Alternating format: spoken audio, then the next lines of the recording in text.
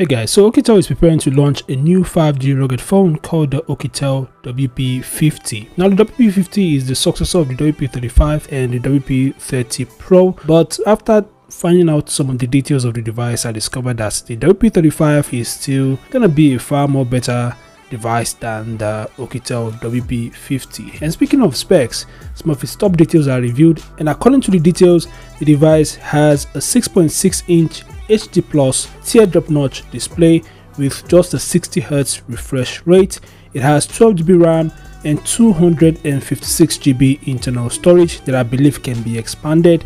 The device also ships with the Android 14 and it's going to be the stock version of Android and of course it's going to be loaded with tons of cool features just like what we see on devices that runs on the latest Android 14. For photography the phone features a triple rear camera setup and the main sensor is said to be a 64MP sensor. The device also packs a moderate 6500 mAh battery and is expected to support fast charging. The phone also supports NFC, OTG, it is rated IP68 and IP69K. It is also military grade standard 810H certified. So these are just some of the top specs and features of the upcoming Oukitel WP50. As you can see, it is not as impressive as the Oukitel WP35 and it doesn't even come close to the Oukitel WP30 Pro. Currently, I don't know the chip that will be powering this device, but I believe it's going to be the Dimensity 6100 Plus at least, which is the same processor of the Oukitel WP35. But these are just some of the details that I have for you guys.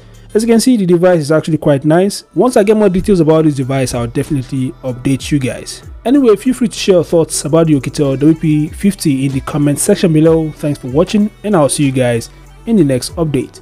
Peace out.